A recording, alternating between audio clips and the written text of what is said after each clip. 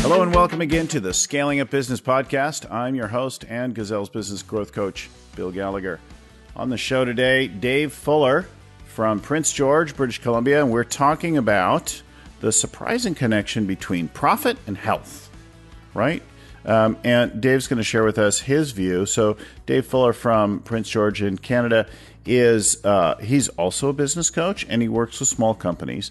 And uh, he wrote a book called Profit Yourself Healthy. He's an MBA, he's a serial entrepreneur, he's a family man, he's a cyclist, a skier, uh, every kind of thing. And um, and I'm welcome to the show, Dave. Hey, thanks, Bill. so, uh, tell us the bear story. Well, Bill, I'm not a hunter, but uh, you know, I, I, got a couple buddies who are, and uh, we went out into the back country. We go out every year, and we go hunting. And we went uh, a couple years ago. We went out and we set up. Uh, you know, I got out there a little early. We, they're hunting for moose typically, so we were hunting for moose, and uh, there's you know we sitting around. We we're going to get up early and we're going to float this river down it's uh, three hours from our community, which is 500 miles north of Vancouver, so it's really remote. Three hours from the nearest hospital, as it turned out. And there's three tents that night. We I went to bed, and this heard this noise as the bear came into our camp and knocked something over. And I knew it was a bear because it was something big. The hunters were in one tent, and so I didn't move. There was Paul, Dave, and their two kids, 16 year old boys, and myself and an, another professor. Was, I'm not a professor, but he was a professor. We were sleeping in this other tent. I heard this this something get up, and then the next thing I heard was bear in the camp. And so Paul's yelling, "There's a bear in the camp!" And the bear grabbed his leg and started dragging him out of the tent. And he started yelling, and he said, "Shoot the bear, Dave! Shoot the bear!" And so this my other buddy Dave grabs his gun and he shoots the bear. And then the next thing I hear, because I'm laying in my bed, I'm trying to get up at this point.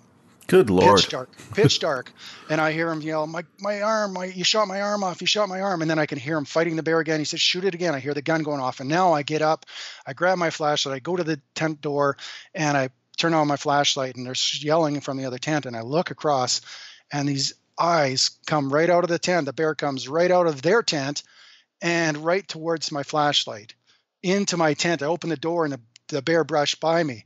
I had tried to wake up the other guy. I tried to wake up Neil before this, and he jumped on me, and so I pushed him back on, and he went back to sleep. But when the bear came in, he woke up and started screaming, and I thought the bear was on top of him, but the bear had been shot twice. He was on the other side of the tent. Now, now Neil ran into the other. He ran across to where he woke up, got out of there, and and and uh, Dave, the other hunter, the hunter with the gun, he I said, Dave, shoot the bear, but he couldn't shoot the bear because he was in shock. And the bear came out again, and then it went into the other. It, you know, this is over a period of a few minutes. I'm telling you, it's really short, but it seemed like a long time, but it was over a couple minutes. But the bear went into the first tent again and dropped in the middle of the floor, and one of the kids shot it with a shotgun right in the middle of the tent. So we find, you know, we got Paul back to town. We we drove him back to town. It took us three hours before we met an two hours before we met an ambulance. We got him into the hospital, and you know, he went in for surgery and luckily enough, there was no, you know, there wasn't a lot of bleeding. I didn't have to put a tourniquet on him and we got him into town. We got him into the hospital and he, he had his elbow replacement, but he's okay. But the thing is that a few months later on, and this is why I kind of wrote the book, is a few months later on, I was thinking about the fatigue that happened to me after that attack. So when we when we have a traumatic event, Bill, there's adrenaline you know all this adrenaline is built up in our body it comes out and after a couple days if you've been in some sort of trauma you get this real fatigue and um, a few months later on i was i was thinking about this and i realized that i'd felt that fatigue before i'd felt uh, all that adrenaline rush and it took me back to 1998 when I had started a, a second business. So I, uh, you know, like you said, I've I've been in business for a while. I have a multi-million dollar business, and in 1998 we decided to open a second location and i opened that location and a lot of things went wrong just like a lot of things do when you when you when you start a new venture you know we had cost overruns we had equipment failures i had staffing issues I had my sales. I'm pretty good at marketing, so I got a lot of people in the business, but my average sale was low. Um, and so as a result, you know, I was bleeding money. I lost a couple hundred thousand dollars, which is a lot of money in the first year for, for a startup, small business. And, you know, I had the bank manager calling, I had my partners calling me, and it was really stressful. And and that's the kind of stress that happens as small business owners, you know, when our businesses aren't working, when when things aren't being profitable. And so I wrote this book, uh, Profit Yourself Healthy, you know, to help business owners who are struggling with their business figure out ways that they can get them profitable. Mm-hmm.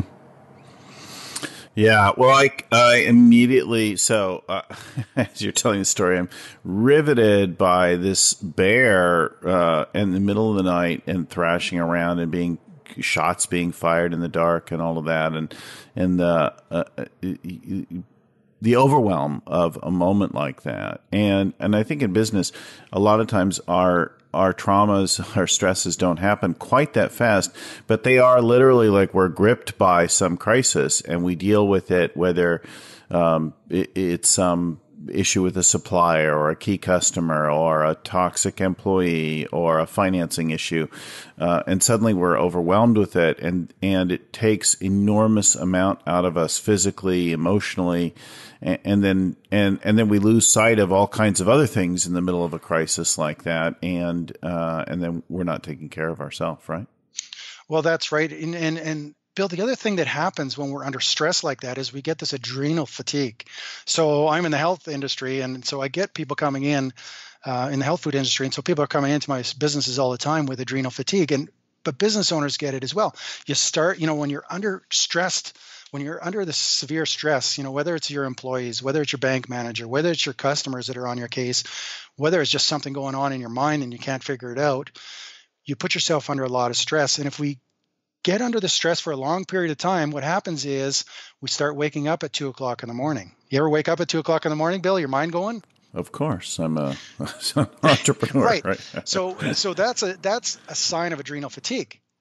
You know, because yeah. you know we get this cortisol level rushing in our in our veins at at a different time than it should be, and so what happens when we get you know we're waking up at two or three in the morning is that when you know we're lying awake and we maybe we fall back to sleep for an hour or two but we get up in the morning we're fatigued.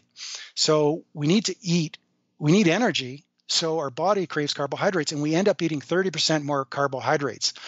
So what does this do?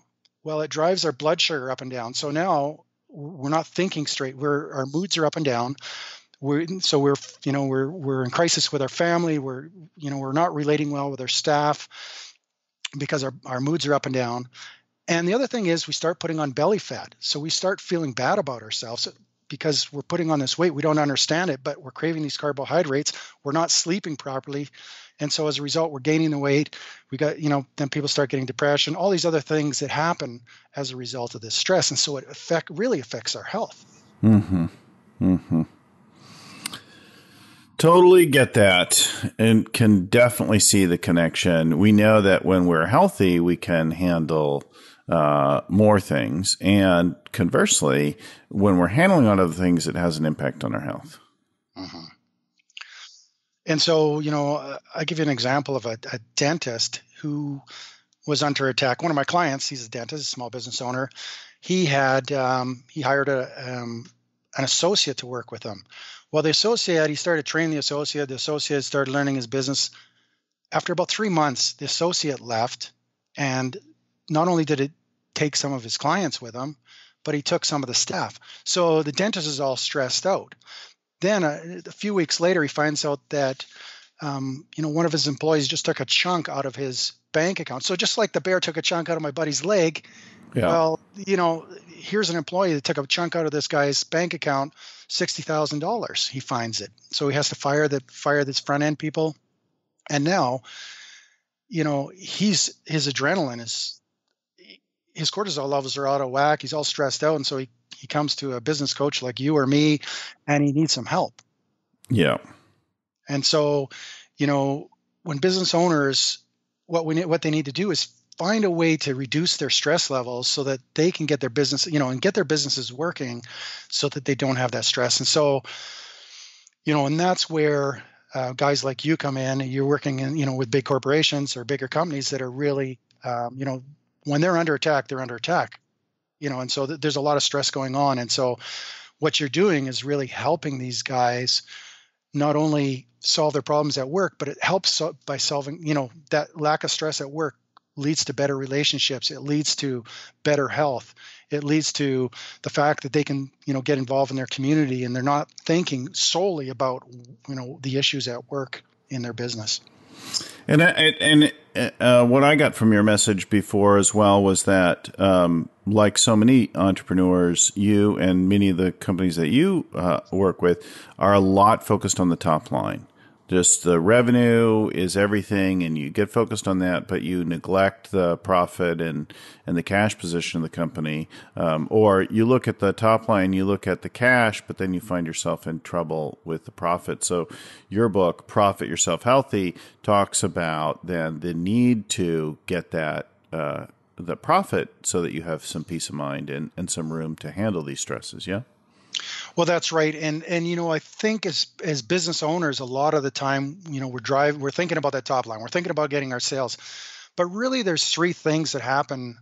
There are three things that need we need to be focused on as as business owners or or CEOs of a business or you know a management team of a business. We have to have the mindset. You know, so first of all, we need a mindset that we're going to get that business profitable, that we're going to find ways to reduce the stresses that are going on. But you know, a lot of small businesses are focused on sales, but they're not focused on profitability. We have a, have to have a mindset that we're going to get that business profitable. Second thing we have to do is understand that you know what do we want for ourselves. So we have to be able to have you know we need to have goals for ourselves from a personal level and and understand that you know the business is just one part of that you know our work environment is just one part of that.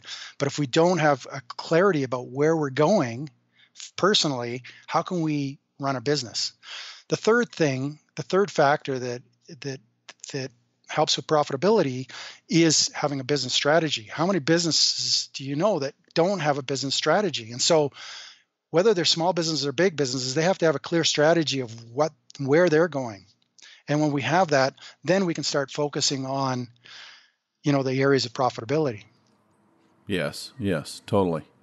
Uh, so uh, we use a, a one page strategic plan. We use a one page vision summary, um, and I, I, think you advocate a, a one page plan as well, and the focus on and an understanding of the factors that affect the profitability. Yes, that's correct. You know those those one page business plans just give the business owner a lot of clarity um, about what they're going to do in the next year, what they're going to do in the next five years, whatever it is. Mm-hmm. So narrowing it, focusing on it, committing to a particular direction, and then uh, how do you approach the your view on improving the profitability for small companies? Well, you know, typically there's about seven areas that business owners need to focus on to ensure increased profitability. Lots of times, you know, we're trying to drive sales and we're trying to focus on getting more customers. But in reality, most of our profits are coming from our current customers. So if we can improve our customer service levels, if we can improve our relationships with those customers and we can use our databases, which most small companies don't have, but they need they need to have some sort of form to figure out who are their current customers, what they're buying, and how can they improve that relationship and add value to those customers. And once we do that, we can get more profitability from those customers. The other thing is, you know, we're focused on prospective customers, but a lot of times our marketing is lackluster, especially in small business. You know, in, in the range that you're working in, those bigger businesses, they understand what they need to do for marketing. But the small business forgets that they have, you know, there's really three things in marketing. You have to be able to attract the attention of your ideal prospective customer and uh, you know we're trying to in a lot of cases appeal to the whole world. We don't understand that there's just a small niche that we're after. So we got to attract their attention. Then we have to give them a reason to believe in our advertising and our marketing. And third thing we need to do in all our marketing is to have a call to action. And if we don't have that you know maybe we're doing some branding but you know these small companies they're really not about branding. They need to get customers in the door the third area that small businesses need to focus on, or every business needs to focus on, is is our past customers because these are customers that are not doing business with us, but at some time had a relationship with us, and we've let them go. We've let those relationships fall And if we understand what the value of a customer, of a lifetime value of a customer is, then we wouldn't be so lax in letting those customers fall off a radar.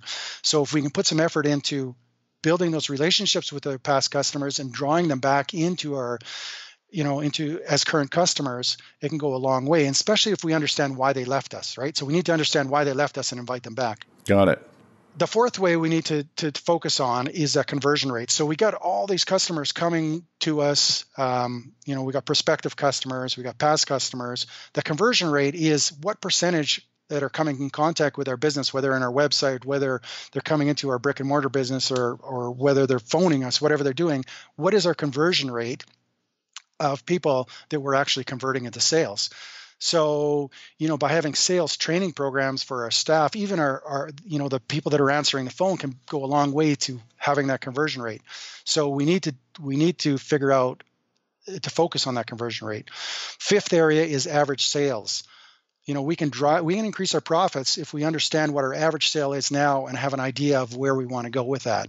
So whether your average sale is $25,000 if you're selling big software or if it's $25 if you're in a small store or even less, improving that by 10% can be huge to the bottom line. Mm-hmm. Mm-hmm. Sixth area is margins. Um, 1% margin increase on a million dollars is $10,000 po- profit into a business owner's pocket. You know, there's really two ways to, to increase margins. We can increase our sales price or we can decrease our costs. Lots of times we just focus on increasing our, our sales price, but there's usually a lot more areas to focus on increasing our margins by decreasing our costs. So, as small business owners or as business owners of any size, you know, we need to understand what is the benchmark margin in our industry and then try to figure out ways that we can either get to that or exceed it. And finally, the last area that um, you know that business owners need to focus on for profitability and to increase their profitability is to reduce their expenses. And if you've been around for a while in your business, there's usually a lot of crap on your your expense side of your income statement. So you know just stuff that builds up over the years. Maybe it's extra hours that you know that you got staff working that they don't need to be working. Maybe it's um, expenses, subscriptions that you're you know you've signed up for that you're not using, or software. You know all kinds of travel expenses. So there's all kinds of things that we can focus on in that expense side that have been built up that you know we can tweak a little bit can make a big difference to our bottom line. Yeah. So in our world, uh, we look at um, some a very similar thing in an exercise that we call the power of one um, from from Greg Crabtree and from Alan Miltz, and um, and that's in our book in the cash section. Um, and we look at the impact to profitability of seven big factors. So um, the volume, the pricing, the gross margin, um, our expense level, our days payable, our days receivable, our inventory levels. Um, we look at all these kinds of things, both from a profit and a cash standpoint, and we understand the small changes. And I think that while you're looking at a slightly different different list here um, that would include some other areas. Um, the the value of looking at and understanding those things and even appreciating the importance of small changes there um, and how valuable even small changes can be to that picture and the kind of peace of mind that can give you uh, and then the impact to your stress your health your weight level and everything else can go along with it right it's huge, Bill. Yeah. And, you know, really what you're saying, you're talking about cash flow.